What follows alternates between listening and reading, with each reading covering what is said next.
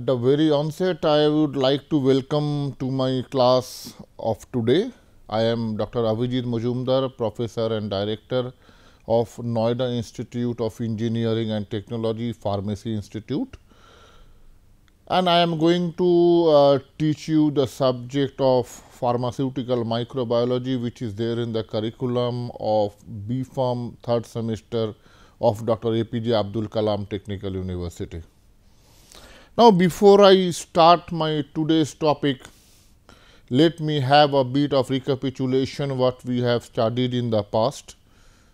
In the past, we have studied about the major scope of this particular subject in pharmaceutical industry as well as the healthcare industry like hospitals. And we have studied about the bacteria, the fungi, the protozoa, the algae, the virus, and the role they play in our life.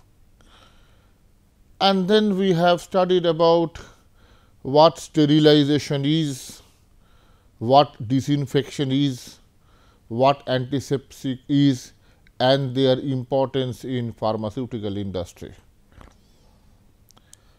Sterilization if we recollect was a process by which we were either killing or removing all the microorganism from the system. On the other hand, there were two terminologies which were very closely linked with each other. One was antiseptic and the other one was disinfectant. Antiseptic a terminology uh, which we use commonly for uh, substances which are acting on the living cells and disinfectant on the other hand were referring to those substances which were mainly acting on the inanimate objects or non-living objects. So, antiseptics were mainly acting on the living cells and disinfectant were mainly acting on the non-living cells. Now, before I go into the deep, let me uh, just give you the as we know that today we are on the boarding of this outcome based education. So, what will be the outcome of my today's lecture? Now, the outcome of my today's lecture will be I will be discussing about the ways by which we are in a position to evaluate the quality of a disinfectant. Therefore, you will be in a position to play a role in the quality control section as I have told you that this subject will help you to cater to the quality control division of the pharmaceutical industry. Now, in my today's class we will be discussing about how to evaluate the quality of a disinfectant.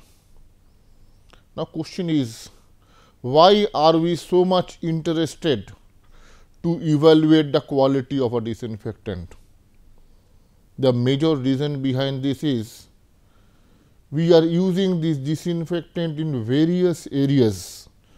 Various areas means we are using the disinfectant to clean, to remove the microorganisms from the floor of the pharmaceutical industries where aseptic preparations are being carried out. We are using this disinfectant mainly in the hospitals also. Particularly, uh, it wide applications when we are applying in operation theatre or intensive care unit, where patients are admitted due to certain illness, where patients are admitted when their immunity is low. Now, as because they are being applied in the critical areas in the hospitals as well as in the pharmaceutical industries, therefore, one must be very very alert about the quality of those substances. In fact, that is the reason why we have to evaluate the quality of any disinfectant before we are recommending its application in hospitals as well as in industry. Now, I have given you various examples of disinfectants as well as various antiseptics in the previous classes. Now, it has been seen that there are a large number of disinfectants which loses its potency while standing. Sometimes the active ingredient get volatilized away. Sometimes it loses its capacity to inhibit the microorganisms.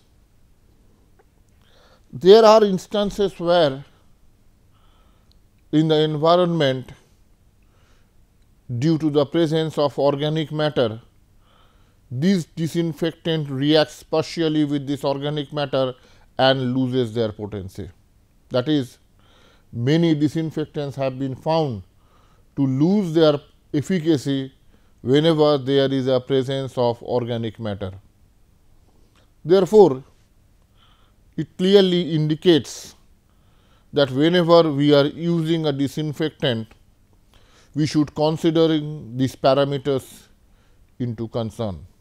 That is, all these points needs to be taken care of whenever we are evaluating the quality of a disinfectant.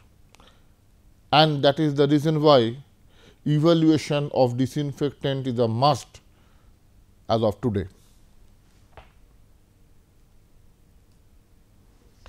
Now, there are two tests which are widely used in the industry to evaluate the quality of disinfectant.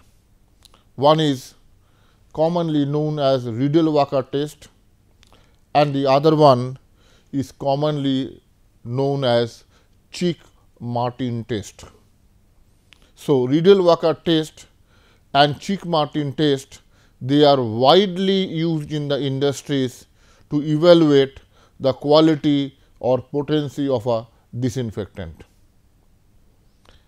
And this Rideal-Walker test whenever we are evaluating the quality of a disinfectant, we are measuring a coefficient that coefficient is known as phenol coefficient. Why it is known as phenol coefficient?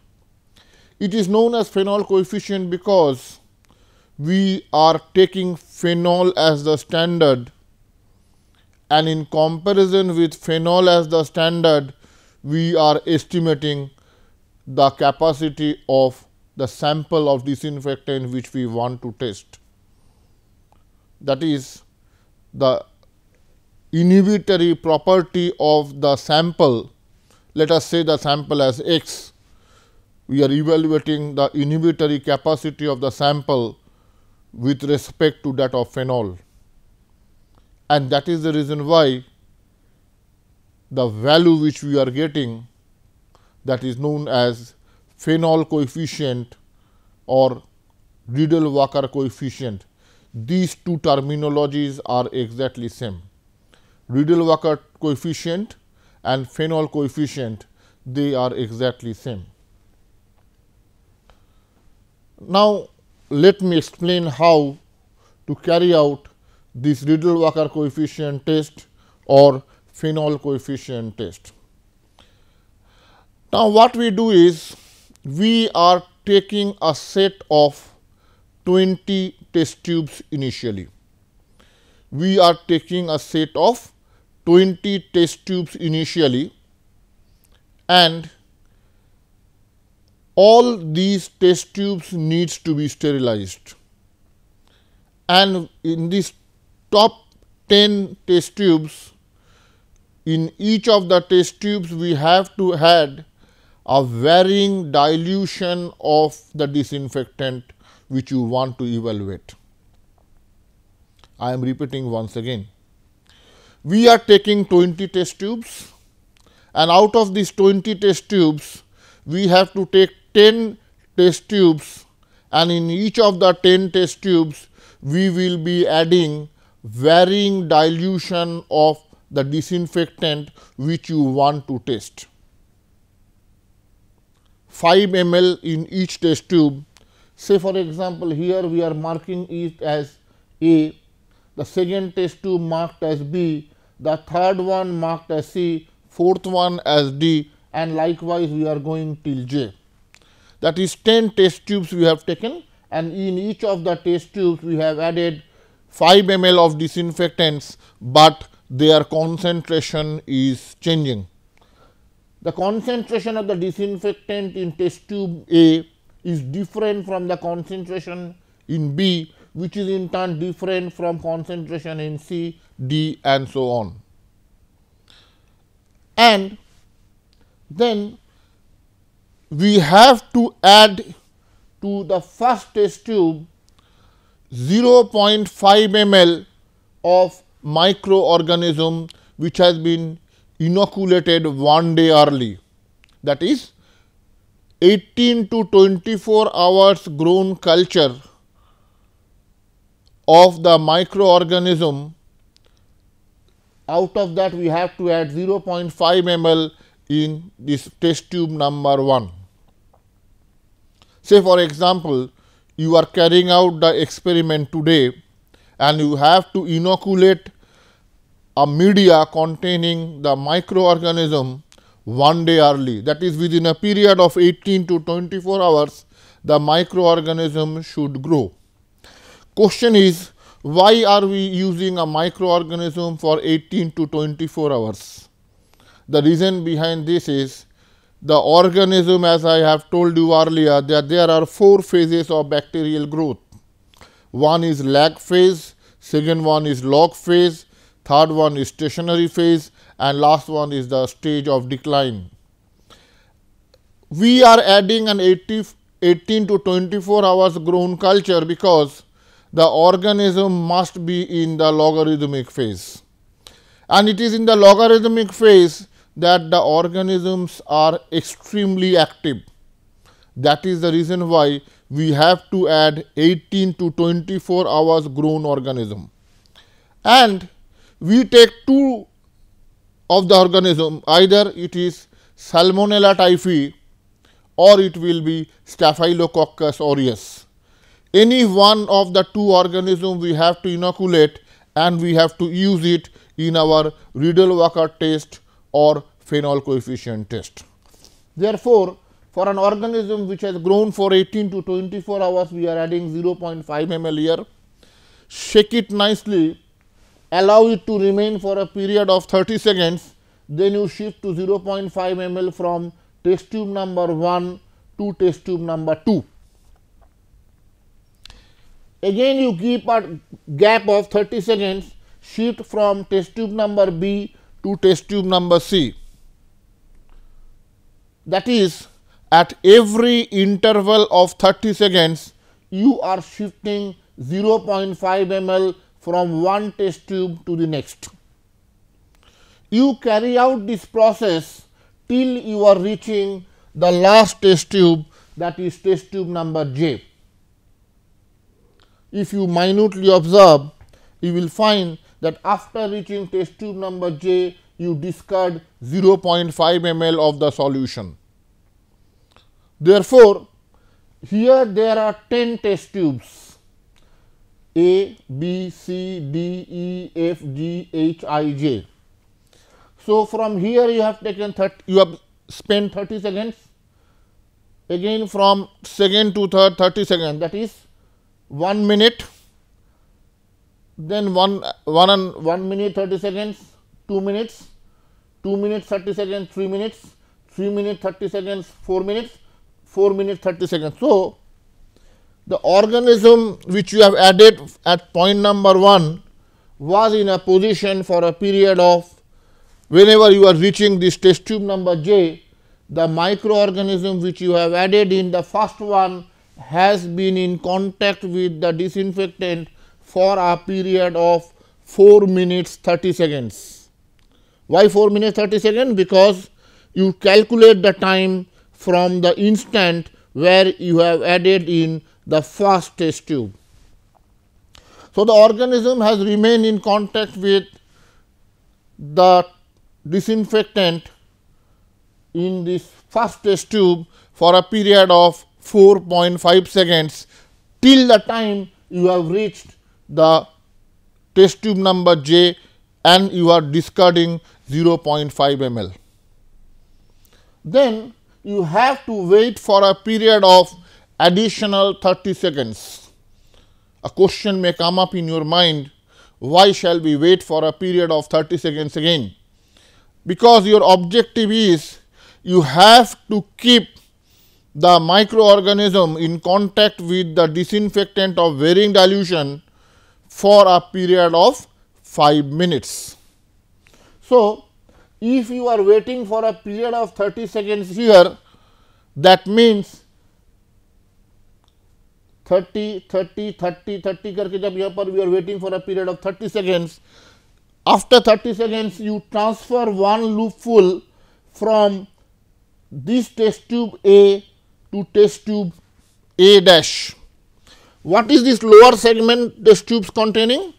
The lower segment test tubes are containing sterile nutrient broth. What is the function?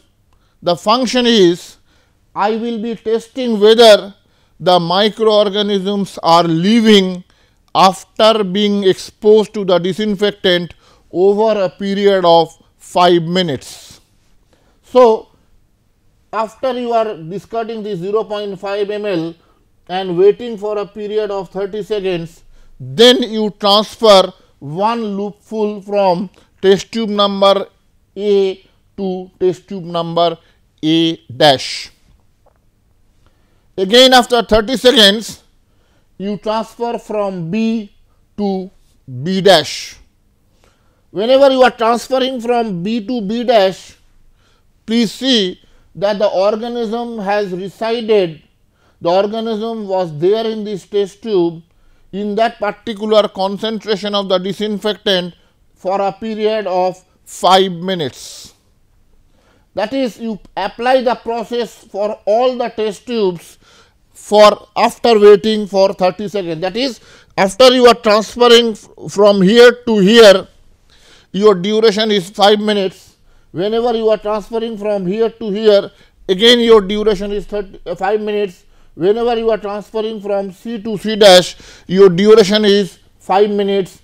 From D to D dash the duration is 5 minutes. That is you are keeping the contact of the microorganism in contact with the varying dilution of disinfectant for a period of 5 minutes. That is test tubes the microorganisms for each and every test tube from A to J were in contact with varying dilution of disinfectant for a period of 5 minutes. Now, say for example, the microorganism is alive, let us say.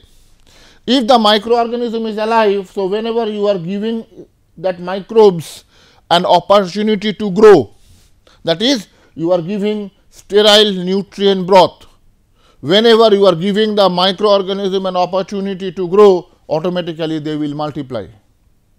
That is, whenever you have shifted the microorganism from A to A dash, if it is alive after an incubation period of 24 hours, the microorganism will grow, the nutrient media will turn turbid. Say for example, the microorganism has been killed Say for example, the microorganism has been killed after a particular dilution of disinfectant. What will happen if the microorganisms are killed? So, whenever you are transferring from that this test tube to this test tube and if they are killed, so the organism cannot grow. So, when the organism is not growing, the sterile nutrient broth will remain clear that is after the process of incubation the nutrient broth if it is clear it means that the microorganisms were all killed by that particular dilution of disinfectant and that is the reason why not a single microbial cell has survived and that is the reason why they have not grown. Here there is one point which all of us need to be very careful that is sterile nutrient broth. Now, you have to sterilize the nutrient broth before you have to use. The reason behind this is if the nutrient broth is unsterile, you will not be in a position to know that whether the turbidity has been due to the contamination present originally in the nutrient broth or that is due to the organism which has been surviving at that particular dilution of disinfectant. So, you have to use sterile nutrient broth to all the test tubes which are marked as A dash, B dash, C dash, D dash, E dash, F dash, G dash and up to J dash. Then what you do is in all these test tubes you mark with the help of a marker 5 minutes and the corresponding dilution of the disinfectant from where the organism had been transferred.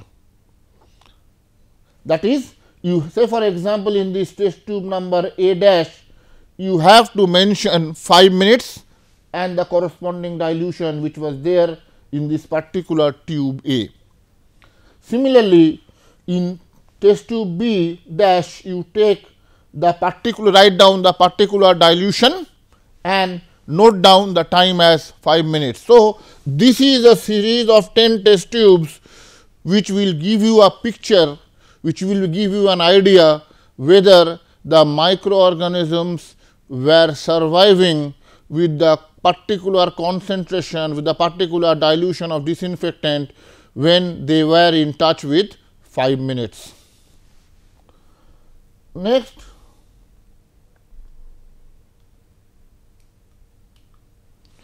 you take another series of 20 test tubes, repeat the same process, repeat the same process each containing 5 ml of varying dilution of disinfectant add 0.5 ml of an overnight grown culture in test tube number A, keep it for 30 seconds, then transfer to B, keep it for 30 seconds, then transfer to C, keep it for 30 seconds, follow at the end.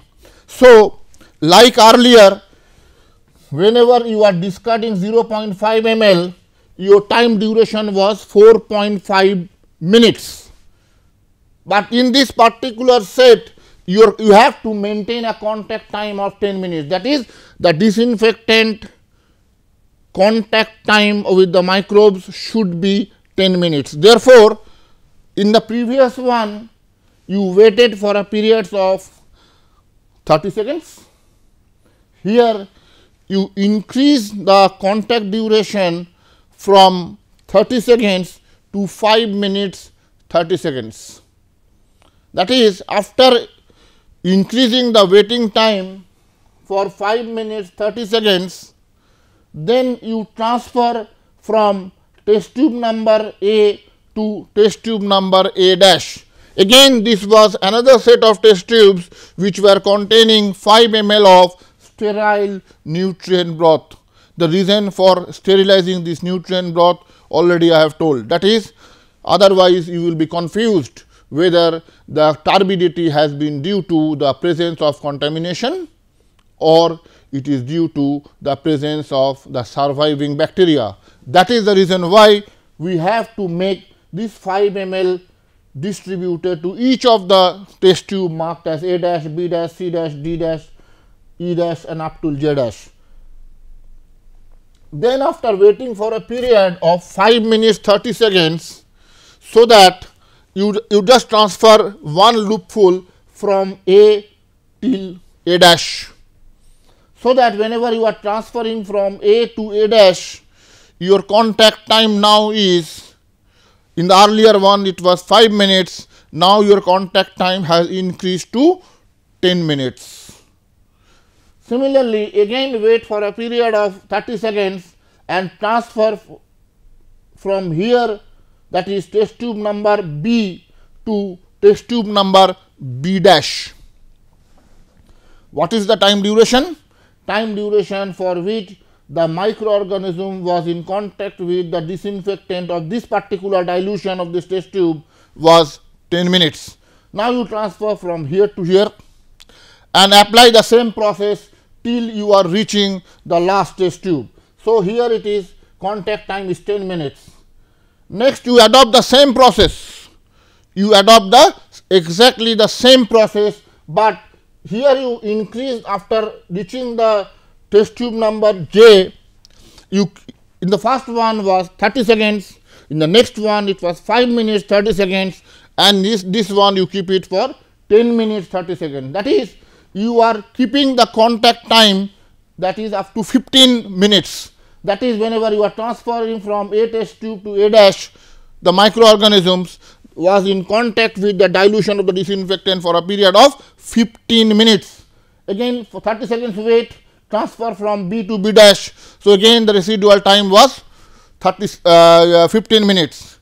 So, this was the set which you have done for the this you have done for a period this you have done for the disinfectant exactly do the same thing that for your phenol also 5 minutes 10 minutes and 15 minutes exactly do the same for phenol to a series of dilution of disinfectant being tested 5 ml per test tube we add 0.5 ml of 24 hours broth culture of staphylococcus aureus and S. typhi at the same time several same amount has been added all the test tube disinfectant and organism as well as phenol plus organism were placed at 20 degree Celsius water bath.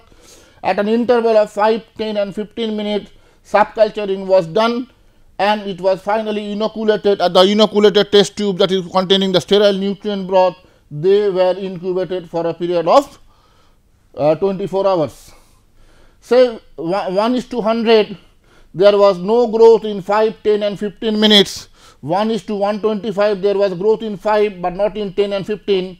In 1 is to 150 there was growth in 5, no growth in 10 and 15. In 1 is to 175 in disinfectant there was growth in 5 and 10 not in 15. Here the Rideal-Walker coefficient suggests that you have to take the greatest dilution of disinfectant killing the test microorganism in 10 minutes, but not in 5 minutes. These two having the same result, but you have to take the greatest dilution. So, greatest dilution is 1 is to 50. Similarly, you note down for phenol. In phenol, in for 1 is to 90 concentration in 5 minutes time contact, there was no growth in 5, but no growth in 10 as well as 15. But when 1 is to 100 when it becomes more dilute, there was growth in 5 minutes, growth in 10 minutes as well as 15 minutes. So, in case of phenol, the concentration is 190 uh, Therefore, the Rideal-Walker coefficient suggests that greatest dilution of the disinfectant that is 150 and greatest dilution of phenol that is 90. So, the Rideal-Walker coefficient is 1.6. So, the test microorganisms were killed at 10 minutes 1 is to 90 dilution at the same time phenol coefficient become 1.6. So, if the value of phenol coefficient is more than 1 it indicates that the sample of the disinfectant is more effective than compared to phenol and always you can use.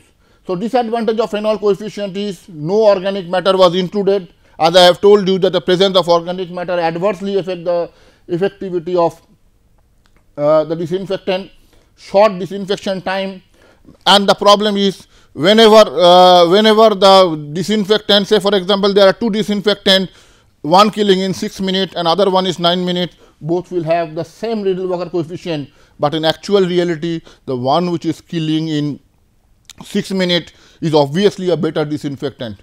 Again we are taking testing over two organisms S. aureus and S. typhi, but these two organisms are not only present there may be other organisms too against which we have not tested the Rideal-Walker coefficient.